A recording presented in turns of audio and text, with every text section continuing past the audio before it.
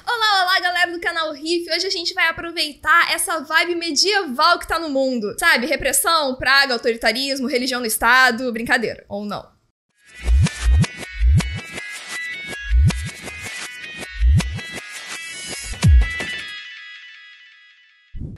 Natália quem me segue nas minhas redes sociais sabe que eu sou apaixonada por uma vibe medieval, livro de fantasia, enfim, tudo isso que envolve esse universo fantástico. E como eu sei que tem um monte de gente que também é apaixonada por essa vibe encantada, eu separei 10 músicas que não saem da minha playlist, que tem essa vibe fantástica medieval que eu tenho certeza que vocês vão gostar de conhecer. Então pra gente começar, já curte esse vídeo, se inscreve no canal, ativa o sininho pra não perder nenhuma notificação do canal Riff e não deixe de conferir no link que tá aqui na descrição desse vídeo todas as vantagens de se tornar um membro do canal. Vou abrir essa lista com a música que me introduziu nesse universo medieval chamada Under a Violet Moon da banda Blackmore's Night. Essa canção do álbum homônimo, ela é simplesmente maravilhosa e ela retrata a imagem que a gente tem de pessoas ao redor de uma fogueira com um céu extremamente violeta, enquanto a gente vai conversando sobre todas as batalhas que aconteceram nos dias anteriores e o que ainda está por vir. Blackmore's Night é liderado pela Kenzie Knight, que ela é uma cantora maravilhosa que parece uma fada encarnada, e o Rich Blackmore, aquele mesmo que você conhece do Deep Purple. Eles são casados, e eu acho isso muito fofo, porque eles têm um grupo que é extremamente mágico. E eu recomendo que vocês conheçam a discografia deles, que eu acho maravilhosa, principalmente o álbum Fires at Midnight.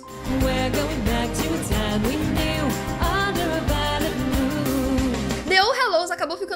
popular no TikTok com uma canção chamada Soldier Poet King. E, gente, essa música é extremamente fofinha e ela é bem aquela canção típica de bardo que vai contando o que, que um personagem faz e qual que é a sua arma e qual que é a brincadeira.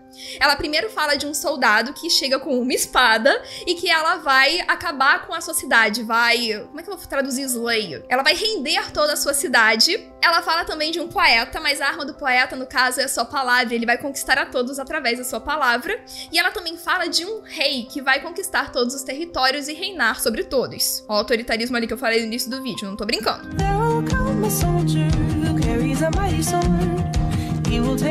Se você jogou Skyrim, se você está familiarizada com a história do Dragonborn, esse personagem que nasceu para libertar o mundo dos dragões, da fúria dos dragões, você deve conhecer a música Dragonborn Comes, que é uma profecia cantada de uma forma maravilhosa pela Maluka. Ela também parece ser performada por uma barda que está falando sobre esses novos ventos que virão através desse herói que finalmente libertará a Terra. Eu não sei vocês, mas eu adoro uma história que tem esse tipo de arco clássico, então se você também curte Skyrim, me conta aqui nos comentários. Believe,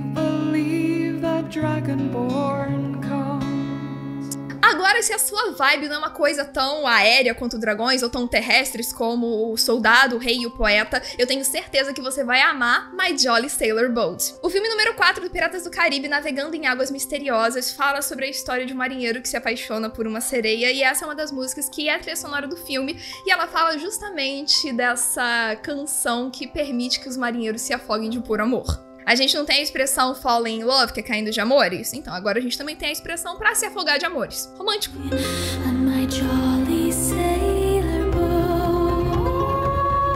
Quem tá me assistindo agora que também é da vibe que amava os filmes que passavam no Cartoon Network nos anos 90. Um deles, chamado The Last Unicorn, trazia a história de um unicórnio que se encontrou sendo o último do mundo. Não existia mais nenhum outro da sua própria espécie. E esse filme foi inspirado em um livro que trouxe também uma canção homônima chamada The Last Unicorn do grupo América. Essa canção, ela traz todos os elementos da fantasia clássica, como o último leão e a última águia e o último unicórnio, sobre como a esperança desabrocha quando você acha que tudo está perdido, e ela é simplesmente linda. Inclusive, essa pintura que aparece no início do filme The Last Unicorn também foi usada como uma tapeçaria no filme Harry Potter, então ela realmente permanece na nossa cultura popular medieval, se eu posso dizer assim, ao longo de vários ícones da cultura pop.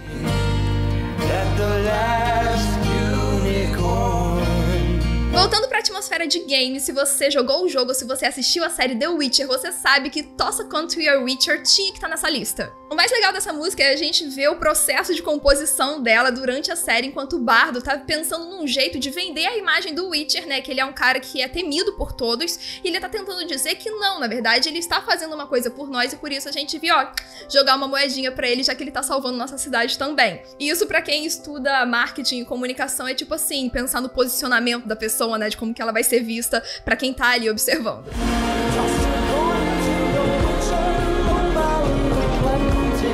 Se você é do classicão, você sabe que não podia faltar aqui The Last Goodbye. O Pippin do Senhor dos Anéis se chama, na verdade, Billy Boyd, e ele tem uma voz maravilhosa, como a gente viu já no filme. E a canção que ele performa, chamada The Last Goodbye, é absolutamente belíssima. E se você tá se despedindo de alguém, eu recomendo que você não ouça, porque vai ser um chororô danado. Essa música, ela não saiu na época do Senhor dos Anéis, mas sim na época do filme Hobbit, né? Daquela trilogia que podia ter sido um filme só, mas enfim, bilheteria. De qualquer forma, a música por si só já vale toda a Odisseia. Recomendo também a leitura do Hobbit, é muito legal. I will say this last goodbye. Quem tem uma vibe mais fadinha, mais bora dançar nuas ao redor da fogueira numa noite lua cheia, eu recomendo The Mystic Dream da Lorena McKennitt. E essa música tem belíssimos 7 minutos, uma parte instrumental, uma parte cantada, e ela vai realmente construindo toda essa atmosfera mágica que eu recomendo muito que vocês ouçam. Inclusive, ela é maravilhosa para você ouvir quando você está naquele processo de acordar, porque acordar é difícil, e você acorda com uma sensação fantástica dentro do seu coração.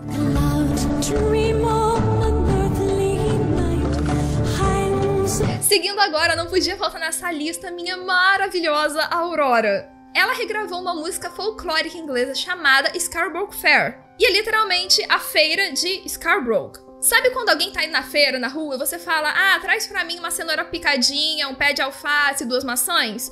É mais ou menos isso que a letra tá falando, só que ela faz isso de um jeito extremamente lúdico, né? Falando pra pessoa encontrar com o amor dela e falar que, né, algum dia a gente ainda vai se reencontrar também. Você consegue encontrar N versões dessa música na internet, só que a da Aurora tem essa vibe de fada nórdica que ela traz consigo. Are you going to e pra gente fechar essa lista, eu tenho certeza que você sabia, no momento que você clicou nesse vídeo, que essa música não poderia faltar aqui. Então, se você acertou meu palpite, já segue a gente também no Twitter e no Instagram, arroba canal Riff, se quiser me acompanhar, arroba Fada de Saturno. Bard Song do Blind Guardian não poderia deixar de fechar a nossa lista com chave de ouro. Eu conheço pessoas que já ouviram tanto essa música que passaram a não gostar mais dessa música de tanto que ouviram as outras pessoas ouvirem. E eu conheço gente que passou a gostar ainda mais dessa música justamente porque não consegue parar de ouvir. Eu, no caso, tô no segundo time. O que eu acho mais lindo nela é que ela traz essa mensagem de que tudo que persiste ao tempo é a arte e a forma que a gente conta as nossas histórias, que a gente permite que elas sejam passadas de geração para geração. Então, da mesma forma que toda essa fantasia pode parecer uma coisa extremamente lúdica e abstrata e totalmente distante da nossa realidade, na verdade ela é só um retrato do nosso olhar do que a gente tem para tudo que a gente experimenta. E como diz na música, The Bard Songs Will Remain.